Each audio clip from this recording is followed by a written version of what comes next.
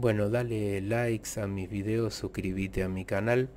Esta es una salida rápida eh, que hago espontánea para responder una pregunta. Mi pareja me hace sentir culpable, me lo dice, eh, yo me enojo, intento arreglar las cosas, las cosas se arreglan, al rato volvemos con lo mismo, él me culpa. Tu pareja te culpa todo el tiempo y eso te hace enojar, discuten, pelean. La culpa además provoca un, aplastamiento, problemas en la autoestima, porque quizá eh, a ti te empieza a ocurrir que empiezas a creer que todo el problema tiene una sola causa, que eres tú. Entonces eso provoca tristeza, enojo con uno mismo, depresión, eh, mucha frustración. Eh, quiero que entiendan que puede haber miles y miles de posibilidades ¿eh? respecto a cuando uno culpa al otro o los dos se culpan, ¿no? ¿Cómo parar o cómo terminar con eso? Bueno, para mí hay que hacer lo siguiente y lo digo en función de mi experiencia en este trabajo. Hay que pedirle un tiempo a la pareja la gente suele tener mucho temor de esto. Entonces, eh, en vez de tomarse un tiempo, que yo ahora voy a explicar para qué sirve ese tiempo, quieren seguir a como dé lugar, quieren intentar arreglar las cosas y lo que van a lograr es cada vez más peleas, más desgaste, más frustración. Entonces cada vez que te culpa tu pareja, si es que no te aplasta emocionalmente, vas a reaccionar con mayor enojo, con mayor coraje, porque te parece injusto. Eh, entonces, no hay que esperar hasta último momento para hacer un planteo inteligente, sabio y salir adelante y resolver la situación. Hay que actuar, no exponer a, a que la relación se desgaste. Si la persona te culpa, no es que solamente eso acontece en el plano psicológico y emocional, también en el energético. Si vos en este momento te empezás a sentir culpable porque tu pareja te lo dice, porque tu pareja te lo hace sentir, porque vos tenés una, una programación muy poderosa de, respecto de la culpa, la culpa ya viene desde tu infancia, quizá te has sentido culpable toda la vida o te has sentido no merecedor de la felicidad puede haber muchas variantes, muchas posibilidades de cosas que nos pasan a los seres humanos. Entonces, antes que nos, desgastemos completamente y se arruine para, para siempre una relación que hasta hoy es de amor, solo que está habiendo un problema en la comunicación, en el plano mental y por supuesto en lo, en lo, energético, ¿no? Porque todo esto te va a afectar a tu energía y la energía de la pareja. Hay que tomar decisiones con valor, con valentía. Hay que pedirle un tiempo a la pareja. Ok, si yo soy el culpable de todas las cosas malas que ocurren, si yo soy el culpable por no entender los supuestos errores que cometo yo, bueno, necesito un tiempo donde voy a trabajar en mí, donde me voy a replantear si quiero seguir adelante con esta relación y donde también voy a pedir ayuda, porque suelo sugerirle a la gente que pida ayuda para hacer un planteo así y para aprovechar ese tiempo. Em, supongamos que tú te tomas un tiempo y ¿qué haces? Empiezas a trabajar en ti. Buscas una persona que te facilite el proceso de trabajo interior, eh, que por ejemplo, si a ti te afecta mucho la culpa, desde toda la vida y además tu pareja sabe que si toca eso, eso te va a doler mucho, entonces te hace sentir culpable y vos sentís que no vales nada, te enojaste, frustrás y, y no entendés por qué si hay tanto amor te culpa tanto, bueno, es momento de diluir ese poder de la culpa en ti. ¿De dónde viene esa culpa? ¿De, de dónde viene esa sensación de no merecimiento?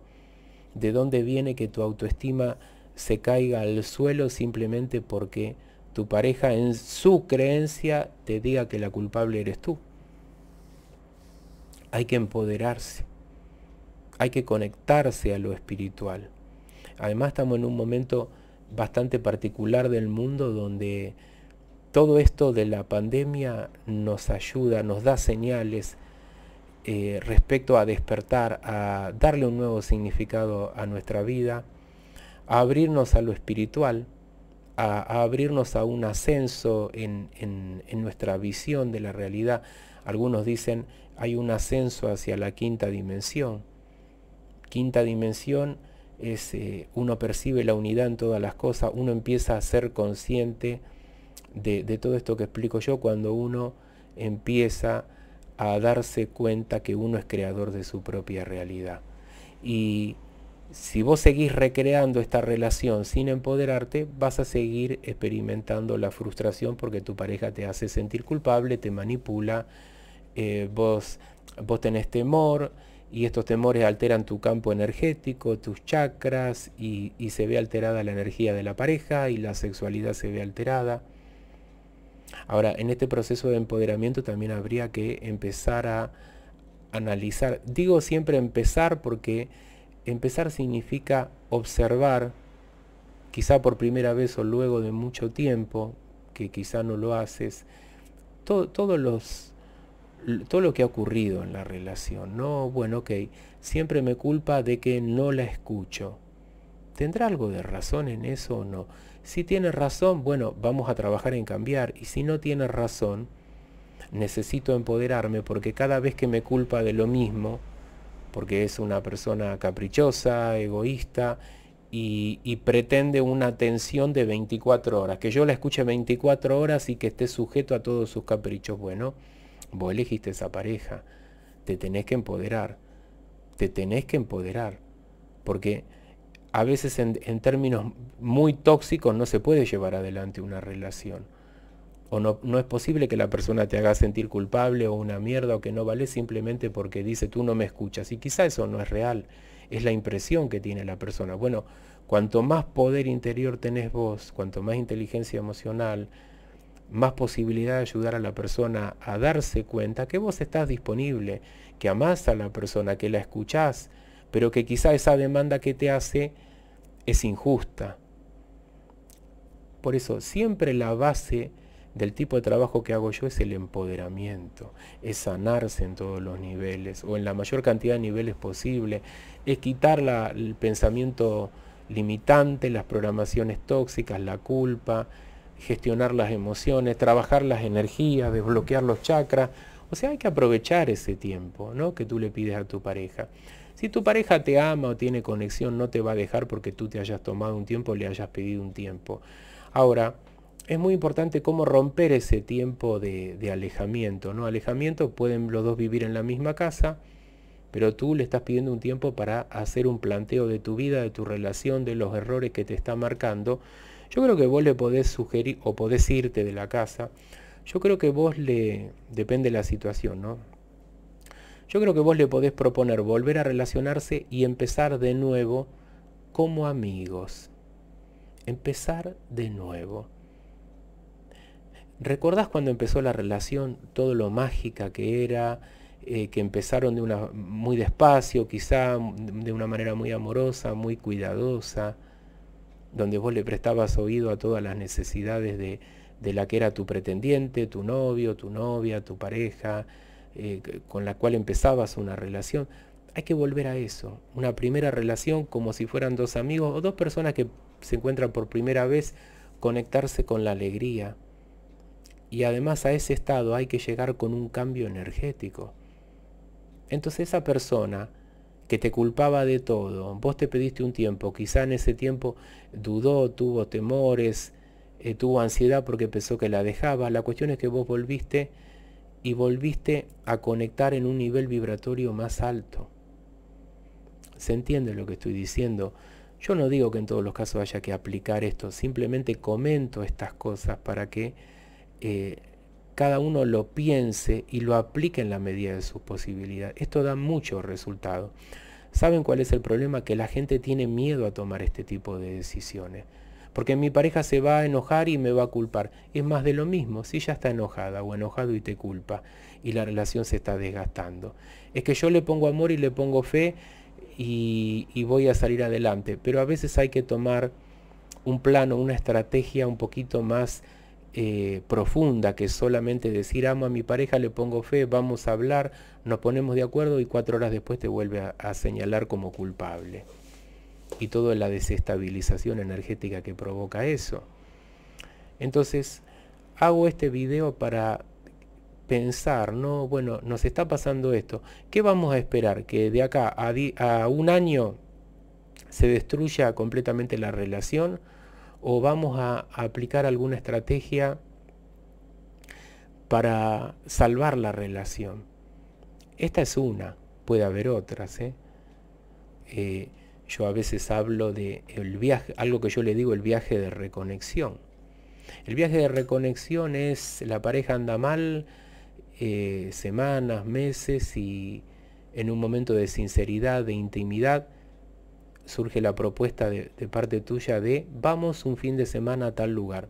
Por ejemplo, una cabaña en el medio del bosque, lejos de todo, lejos, lejos de, de la rutina de nuestra casa, de nuestros amigos, de nuestras obligaciones. ¿Vamos una semana o vamos un fin de semana? Como guste esos cinco días. Y esos cinco días o ese fin de semana o esa semana en un lugar mágico, conectado a la diversión, a la felicidad, bueno, es un tiempo que se puede utilizar con otros tips más, como un tiempo donde la pareja busca redescubrir el amor, la pasión, despertar la energía sexual dialogar mucho y pasar un tiempo de calidad. Porque quizá en la vida rutinaria no pasan un tiempo de calidad, es muy poco el tiempo de calidad. Por supuesto, hay que ir preparado a un viaje de reconexión. Porque, y quizás necesitas el soporte de alguno de los que hacemos este trabajo, no solo en lo energético, sino en el consejo, en la guía, hay que llevarse unos tips o una serie de ejercicios o de trabajos que vos podés plantearle a tu pareja.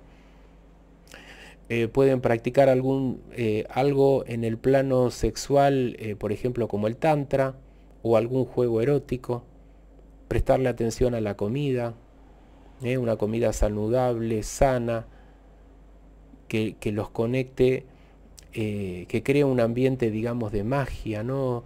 Una cena a la luz de las velas, mirando por la ventana como cae la lluvia sobre el bosque. Esos momentos mágicos no se te van a borrar nunca de tu vida y, además van a despertar emociones. Pero bueno, tendría que hablar en otro video de lo que yo le llamo un viaje de reconexión.